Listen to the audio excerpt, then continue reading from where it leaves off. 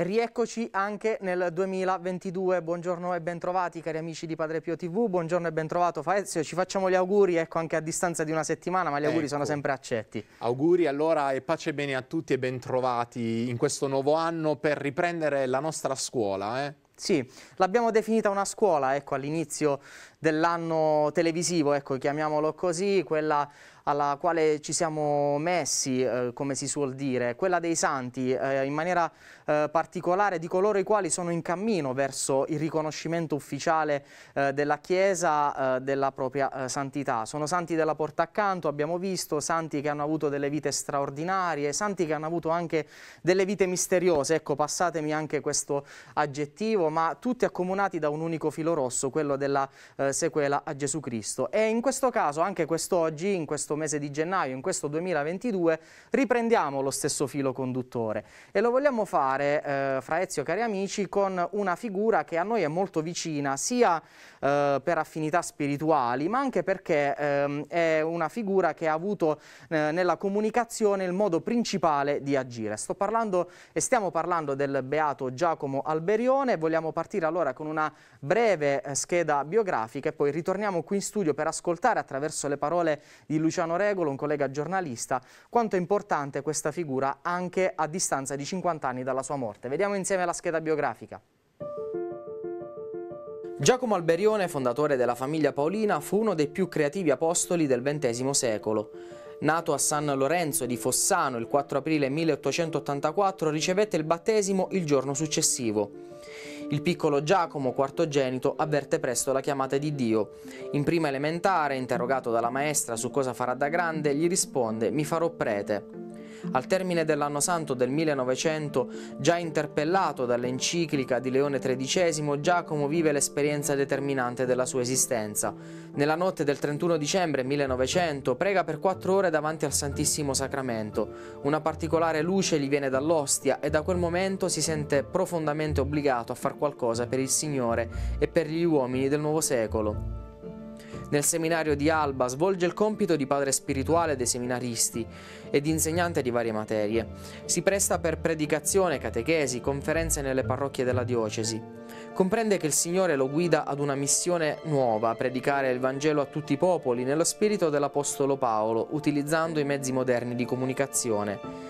Il 20 agosto 1914, mentre a Roma muore il santo pontefice Pio X, ad Alba Don Alberione dà inizio alla famiglia Paolina con la fondazione della Pia Società San Paolo. Nel 1962 fino al 1965 Don Alberione è protagonista silenzioso ma attento del Concilio Vaticano II, alle cui sessioni partecipa quotidianamente. Nel frattempo non mancano tribolazioni e sofferenze. Visse 87 anni. Compiuta l'opera che Dio gli aveva affidata, il 26 novembre 1971 lasciò la terra per prendere il suo posto nella casa del padre. Il 25 giugno 1996 Papa Giovanni Paolo II firmò il decreto con il quale venivano riconosciute le virtù eroiche del futuro beato.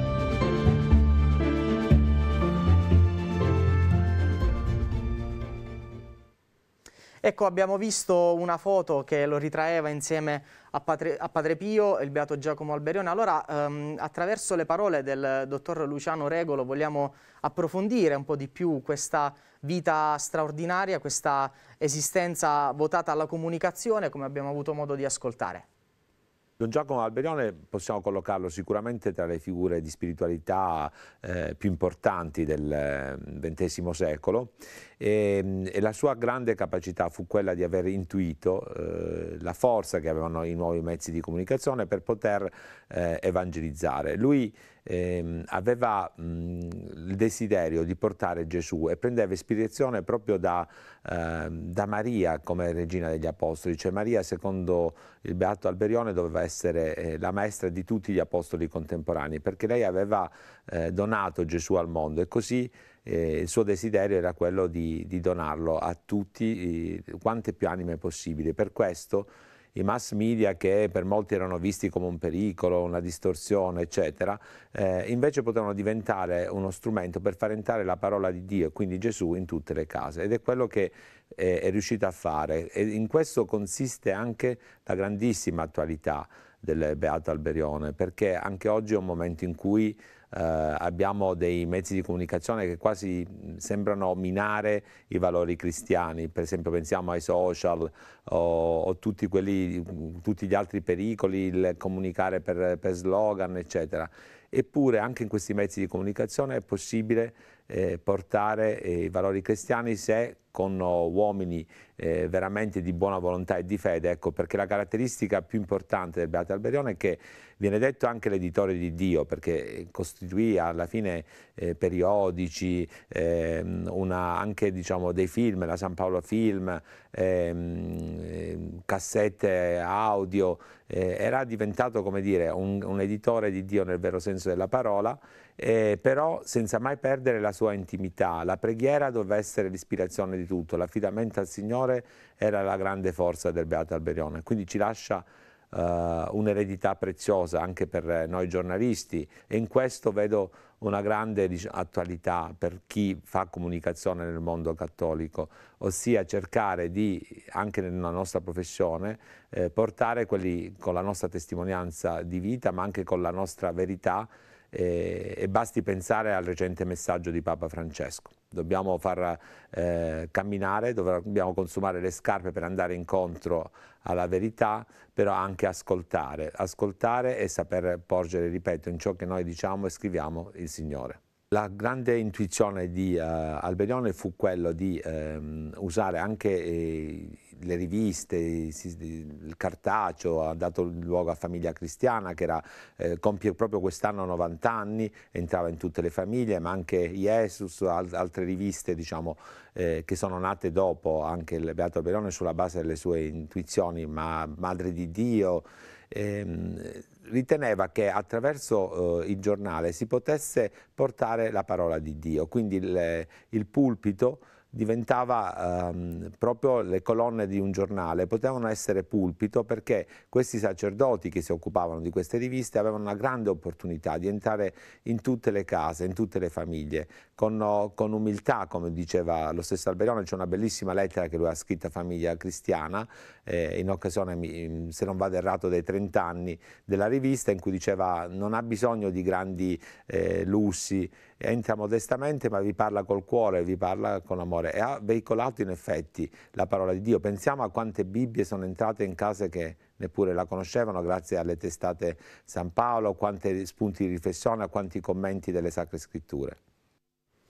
L'editore di Dio, mi è piaciuta molto questa definizione che il collega Luciano Regolo ha dato del beato Giacomo Alberione. Ecco, nel periodo della pandemia, Fra Ezio, ti chiedo una battuta, eh, quanto è importante questo avvicinarsi ancora di più della Chiesa ai mezzi di comunicazione? Ecco, come dicevamo anche le altre volte, i santi hanno sempre quel passaggio in avanti, poi siamo ancora nel tempo natalizio, no? in cui celebriamo il mistero dell'incarnazione, no?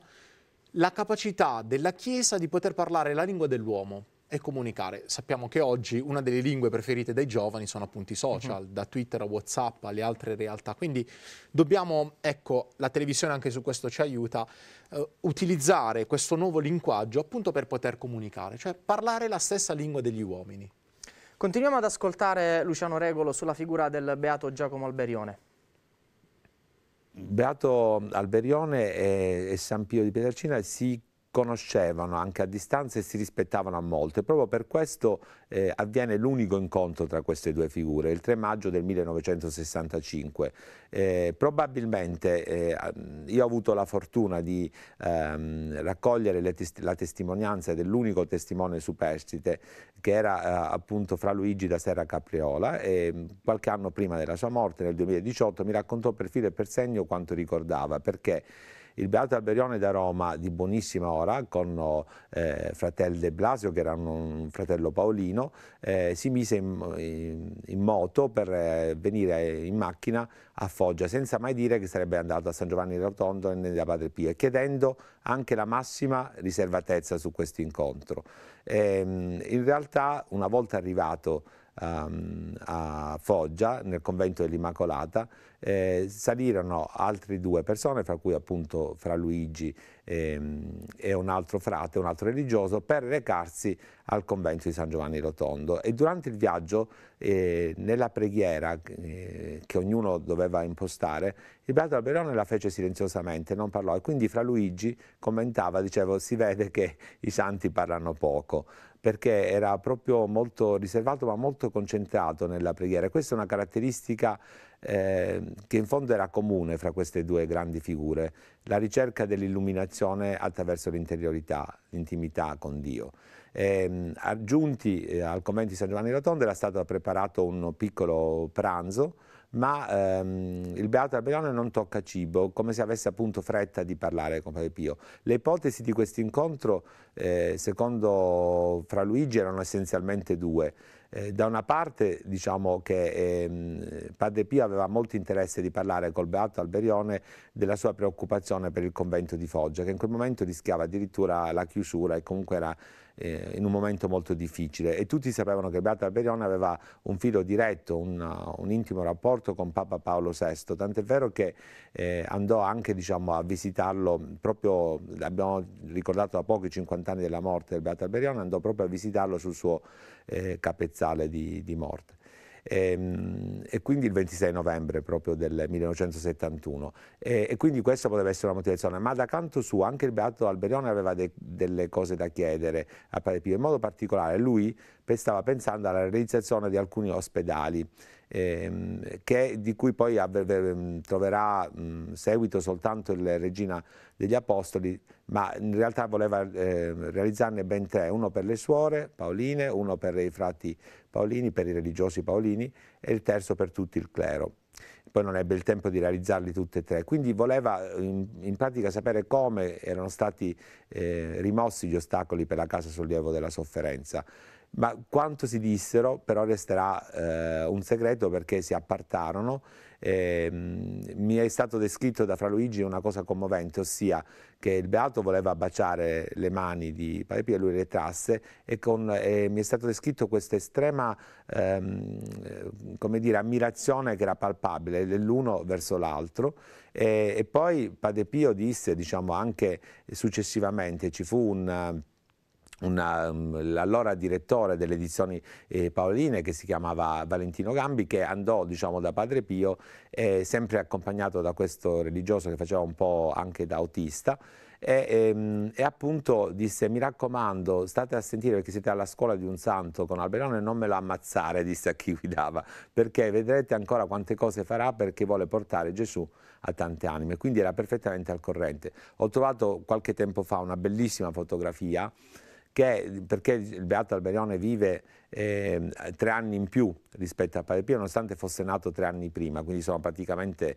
coevi, e un, che tiene in mano un, una delle prime biografie di Padre Pio, quindi a testimonianza ulteriore del loro grande interesse, così come rimangono sulla cronistoria del convento sia diciamo, la, la, la, firma sul registro dei visitatori del Beato Alberione, ma anche lo scarno racconto diciamo, di questo incontro in cui due figure storiche, ma soprattutto due figure della spiritualità si incrociarono. Figure storiche, quella del Beato Giacomo Alberione e quella di San Pio da Pietrelcina, il cui incontro abbiamo provato a descrivere attraverso le parole di Luciano Regolo e che davvero ci hanno dato un po' il senso di quello che deve essere stato questo incontro fra due santi. Noi ora ci fermiamo per la pubblicità e poi ritorniamo ancora qui in studio in diretta per parlare di un'altra figura importante di santità. Restate con noi.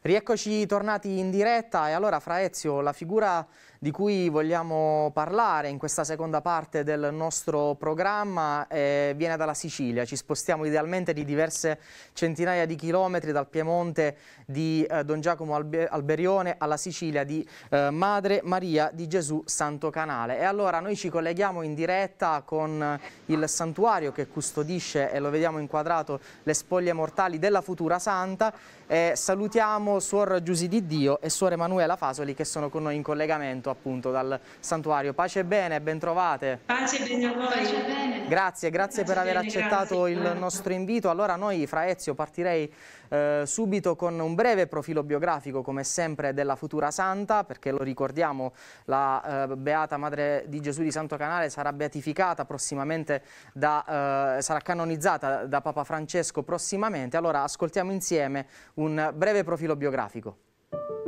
Maria di Gesù Santo Canale, al secolo Carolina, nacque a Palermo il 2 ottobre 1852. Fin da bambina sentì il desiderio di consacrarsi al Signore pensando di entrare nel monastero di Santa Caterina. Ammalatasi per circa due anni, dovette ritardare l'attuazione del suo progetto di vita religiosa. Nel frattempo, con l'aiuto del parroco, impostò una nuova opera sul solco della regola francescana. Il 13 giugno 1887, nella chiesa del Collegio di Maria, ricevette insieme ad altre giovani che desideravano consacrarsi a Dio il saio di terziaria regolare. Poiché il luogo dove dimorava era troppo stretto e angusto, ottenne dai genitori il permesso di abitare nella casa ereditata dai nonni. Vi si trasferì con le prime compagne l'11 febbraio 1891. Cominciò così il suo apostolato di visita e servizio ai poveri e agli infermi. Aumentando il numero delle religiose, sentì il bisogno di una regola che le venne concessa insieme al decreto di aggregazione del nuovo istituto all'ordine dei frati minori cappuccini. Il 13 giugno 1910 la serva di Dio e le sue consorelle vestirono il saio cappuccino. La prima guerra mondiale fece sentire le sue drammatiche conseguenze anche sull'istituto. Le prove si fecero ancora più dure quando l'arcivescovo di Monreale, pur elogiandone l'opera svolta, invitò la serva di Dio a chiudere il noviziato. Lo scoraggiamento e le incomprensioni finirono per incidere sulla sua salute. Per curarsi fu costretto a trasferirsi a Palermo dai suoi fratelli. Riprese le forze, ritornò all'istituto e il 24 gennaio 1923 l'arcivescovo le fece pervenire l'ordine di riapertura del noviziato e il decreto di conferma dell'istituto. La serva di Dio morì il 27 gennaio 1923. E allora io andrei subito da Suor Giusi, che è la superiora generale delle Cappuccine dell'Immacolata eh, di Lourdes, per chiedere proprio, ecco, Suor Giusi, qual è la spiritualità e quali sono le opere ecco, di questa futura santa? Ecco, intanto ci troviamo, come dicevate voi, a Cinisi, il santuario che accoglie il corpo della madre, è il santuario eh, della Beata Santo Canale ed è anche quella chiesetta che lei ha desiderato in vita. E il servizio diceva proprio quella casa da cui è partita tutta l'opera ed è proprio questa in cui ci troviamo. E questa chiesetta l'ha desiderata e realizzata lei. Infatti non possiamo parlare del suo servizio ai poveri e agli ammalati se non partiamo dalla fonte, dalla radice di cui lei stessa si nutriva. E lei amava dire i suoi tre grandi amori sono Gesù e Eucaristia, San Giuseppe e la Vergine Maria. E diceva alle sue suore, alle sue figlie, oh come sarei felice se potessi morire con gli occhi fissi in un'ostia consacrata e desiderava proprio essere sepolta ai piedi di San Giuseppe. E la caratteristica eh, è proprio questo amore sponsale verso Gesù e Eucaristia, in una relazione confidente con, con Lui. Eh, amava stare ore, ci raccontano le testimonianze delle suore, amava restare ore estatica dinanzi a Gesù e Eucaristia, in una relazione così confidente e simpatica che è propria dei, dei santi. Eh, lei quando chiedeva qualche grazia particolare a Gesù andava a bussare proprio alla porta del tabernacolo. E ci raccontano le testimonianze, un aneddoto eh, simpatico ma anche molto bello che dice proprio questa sua relazione confidente eh, con Gesù eh, e alla Divina Provvidenza.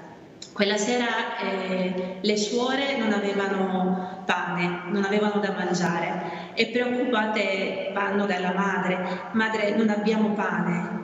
Allora la madre che si trovava dinanzi a Gesù dice datene alle orfanelle e, alla, e alle suore ammalate e anziane. Allora le suore preoccupate, sì madre, ma non abbiamo, non abbiamo da mangiare. Voi date quello che c'è. Richiama un po' il miracolo del pane, no?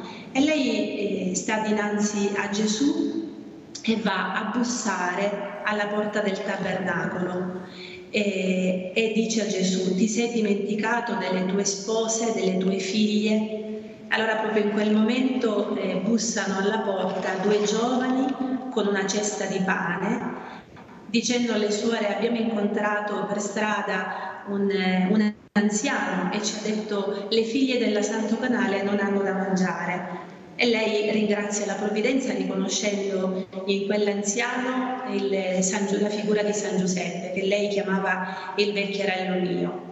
Ecco, eh, è da qui, da questa sua relazione eh, sponsale con Gesù, che scaturisce il suo donarsi, il suo spezzare la sua vita, ehm, aprendo gli occhi sulle, sui bisogni del territorio, della chiesa locale.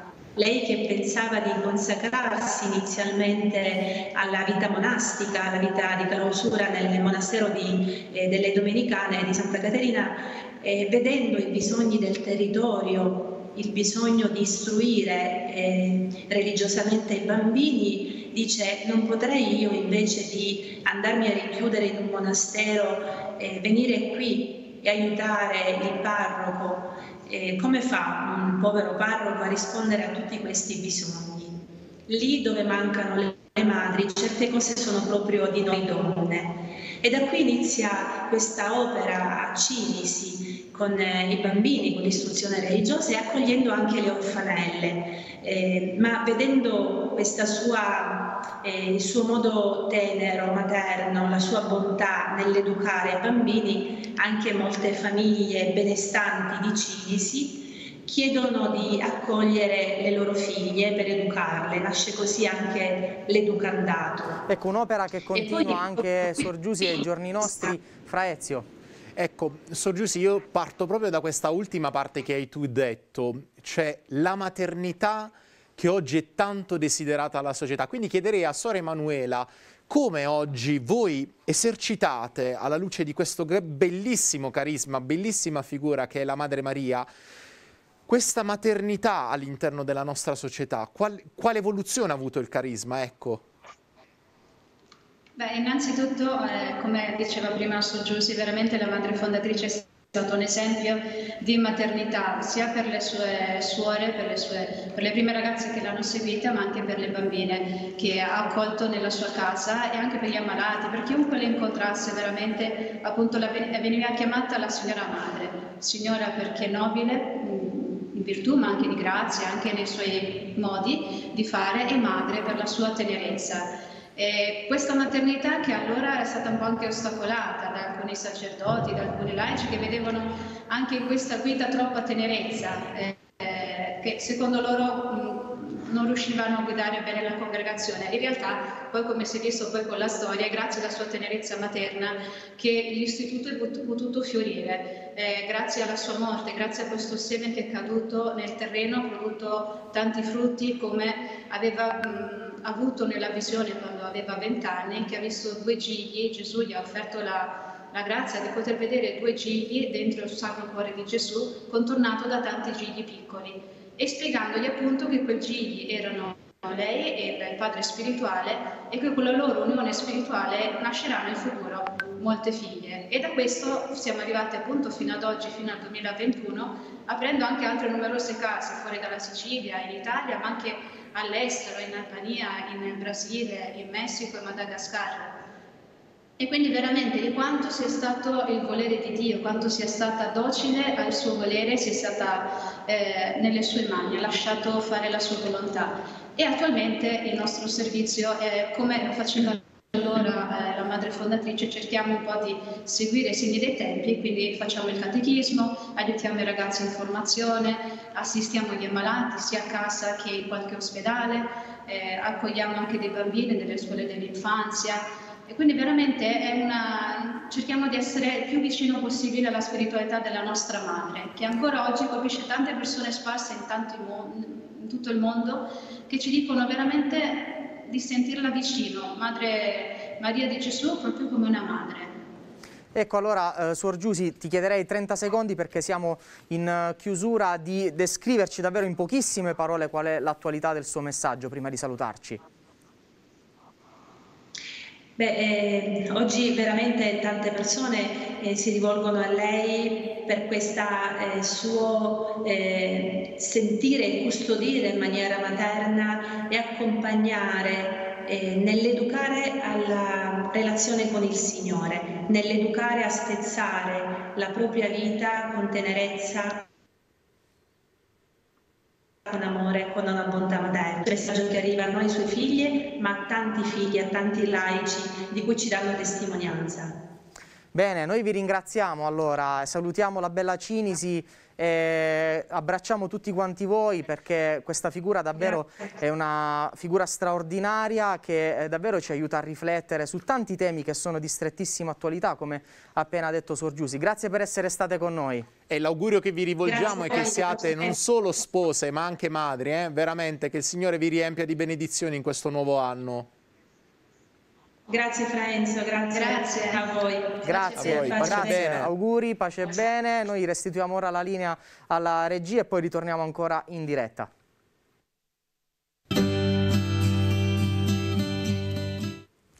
E l'ultima parte del nostro programma di in questo sabato 8 eh, gennaio la vogliamo dedicare come sempre a una figura di santità giovane e quella che vogliamo in qualche maniera trattare attraverso le parole dell'ospite che tra poco vi presenterò è quella di un sacerdote vissuto in un'epoca durissima per l'Italia, per l'Europa, per il mondo, ecco in generale. Sto parlando di Don Giovanni Fornasini, ascoltiamo il breve profilo biografico e poi torneremo qui in studio per parlare di questa vita davvero, davvero spesa per gli altri.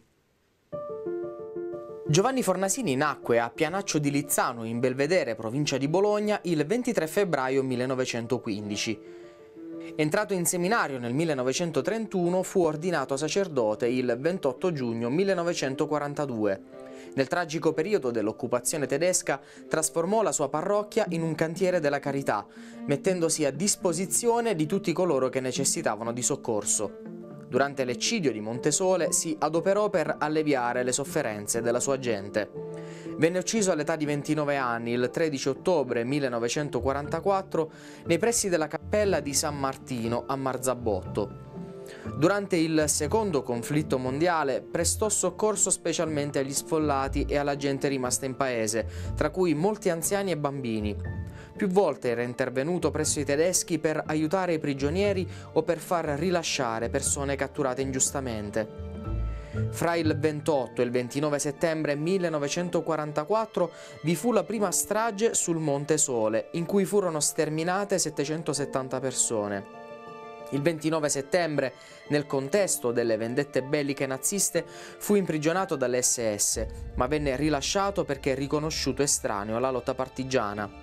Il 13 ottobre 1944 un ufficiale tedesco invitò Don Fornasini a seguirlo in montagna per dare sepoltura ad alcune persone. Il servo di Dio lo accompagnò fino a San Martino di Caprara, ma da qui non fece più ritorno. Il suo corpo venne recuperato nell'aprile 1945 dal fratello. Secondo la ricostruzione, la morte del servo di Dio sarebbe avvenuta dopo un'agonia dovuta a maltrattamenti compiuti sulla sua persona. La fama di martirio si diffuse subito e permane fino ad oggi, unita ad una certa fama di segni. Ed ecco a parlare con noi questa mattina di Don Giovanni abbiamo in diretta con noi Don Angelo Don Angelo Pace Bene, ben trovato. Ti chiederei ecco subito di presentarci questa bella figura e ti chiederei anche di sottolineare soprattutto un aspetto che è tipico di Don Giovanni, che è quello dell'inclusione. Sì, buongiorno a tutti e bentrovati. E come è stato ben presentato dal video, Don Giovanni Fornasini è un prete eh, giovane della diocesi di Bologna, eh, che muore eh, dopo solo due anni del suo ministero sacerdotale, che vive in una piccola parrocchia eh, vicino al comune di Barzabotto, Sperticano, 333 abitanti, una piccola parrocchia in cui lui si impegna perché eh, tutti possono sentirsi accolti e aiutati. Eh, per lui la parrocchia deve essere come la fontana della carità, eh, simile alla fonte della grotta di Lourdes, a cui tutti possono attingere e incontrare una carità umile, nascosta, che è per tutti instancabile. E eh, vive da parroco in una situazione complessa, eh, perché gli uomini sono lontani al fronte, ci sono i partigiani dopo a seguire sui monti, e lui fa in modo che la parrocchia possa essere uno spazio di aiuto per tutti in maniera instancabile e senza eh, timore di mettere a pericolo la propria vita. Eh, in tutte le occasioni lui, sono tantissime le occasioni in cui lui va a aiutare chi ha bisogno. Ecco, Don Angelo, ehm, a me ha colpito molto questa figura perché eh, parliamo di una persona giovane, ecco, noi, in apertura di questo spazio ecco, noi eh, di solito parliamo di santità giovane, eppure sembra di parlare davvero di eh, un uomo con un'esperienza radicata, molto radicata, soprattutto in un'epoca quella eh, che hai descritto difficile perché eh, la guerra davvero ha funestato l'Italia, l'Europa e non solo. Da dove traeva la forza eh, il nostro Beato? Inizialmente nel, nel, ricercare le notizie su Don Giovanni eh, ci siamo concentrati sugli ultimi giorni della sua vita, sul martirio, sul modo con cui eh, gli è stata tolta la vita in maniera così dura. Ma poi per la causa di beatificazione abbiamo indagato la vita e abbiamo scoperto questo, che Giovanni nella sua vita ha avuto tantissime difficoltà, tantissime fatiche, eh, fin da ragazzo, da giovane ma queste difficoltà e fatiche si sono trasformate in una scuola di vita che gli hanno poi permesso di imparare a mettersi nei panni degli altri. E quindi Giovanni non è un eroe irraggiungibile che fa cose impossibili, va di fronte alle SS senza timore, è una cosa che a noi sembra inarrivabile, ma è un giovane che ha imparato della sua vita a donarsi agli altri. Faccio alcuni esempi. Eh, quando è piccolo, quando nasce, il papà è soldato in guerra, saprà mettersi nei panni dei ragazzi che hanno i papà in guerra. Il papà è migrante perché la famiglia è povera, eh, deve migrare, lui è nato in un piccolo paese di montagna, deve migrare in Corsica per lavorare. Lui capisce bene la situazione delle sue famiglie che non, hanno paura di non avere il mangiare alla sera a scuola viene bocciato in prima e seconda elementare, poi anche all'ingresso del seminario viene bocciato tre volte. Ebbene, nel suo piccolo paesino farà una scuola con l'aiuto delle ragazze sfollate perché tutti possano formarsi, avere gli strumenti per affrontare la vita. Poi un altro aspetto che è emerso dallo studio della sua vita è che quando ha 20-21 anni è ammalato, eh, nel 36, 35-36 non dà gli esami, è a casa, e per, la, mm, per il seminario dell'epoca era segno di non vocazione. Ebbene, lui andrà a Lourdes e a Lourdes guarisce e, e certamente quell'esperienza l'ha aiutato tantissimo a mettersi poi nei panni durante i suoi due anni in ministero dei malati e tutti i pochi sopravvissuti ricordano che lui andava a trovare tutti i malati e arrivava non solo per pregare ma portando la cesta con i viveri perché eh, per guarire ci vuole il mangiare. Allora, da dove ha trovato la forza Giovanni è da aver scoperto che attraverso le sue fragilità, fatiche, il Signore l'aveva accompagnato a capire cosa, vuole, cosa significa voler bene agli altri, amare senza misura. Don Angelo, siamo ancora nel periodo natalizio. In questa trasmissione abbiamo introdotto anche il primo personaggio che abbiamo avuto con noi, richiamando molto alla dinamica dell'incarnazione. Sembra quasi un paradosso, ma pare che i santi sono quegli uomini che parlano la lingua degli uomini di oggi. Pare che mi stia dicendo, giusto? Eh, una delle poche testimonianze della predicazione di Giovanni era eh, il fatto che eh, parlava e si faceva capire perché usava gli esempi di vita della gente. Eh, I giovani dicono parlava come noi.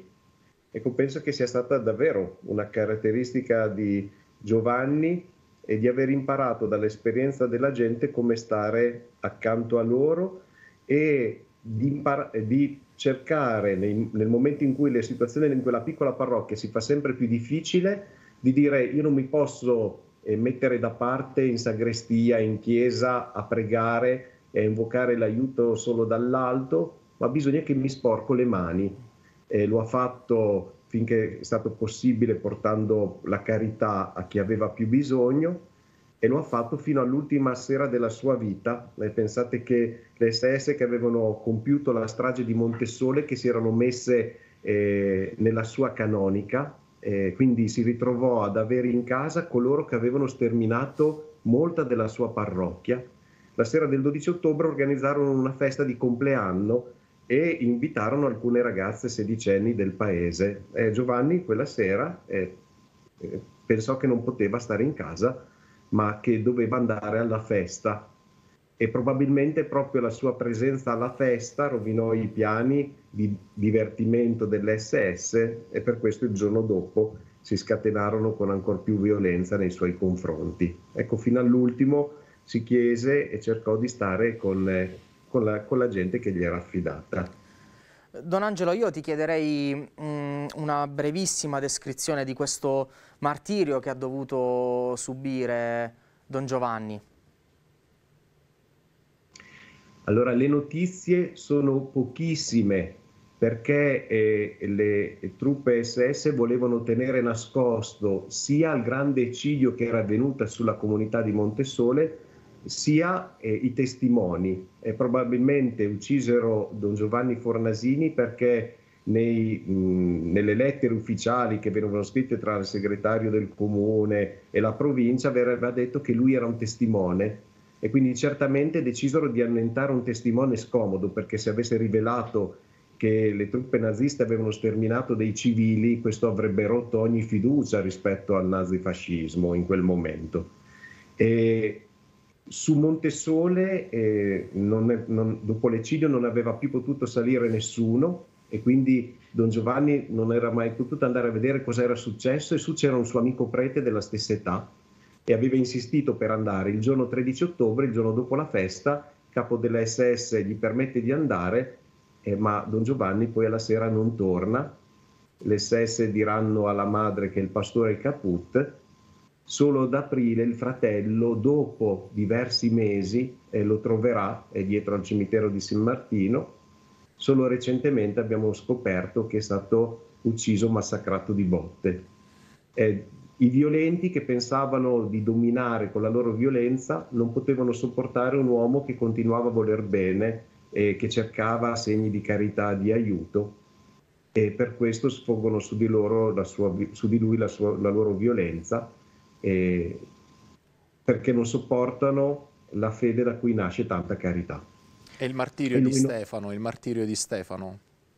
Sì, e, in, e, accanto a lui su Montesole appunto è morto il suo compagno che è Don Ubaldo Marchioni, il primo giorno della strada, muore eh, sull'altare di Casaglia eh, mentre va a, a consumare l'Eucaristia. Eh, e mentre la sua gente viene uccisa al cimitero e così come muoiono altri tre preti, Don Ferdinando Casagrande, Don Elia Comini, Padre Martino Cappelli, tutti eh, per la scelta di stare accanto alla gente.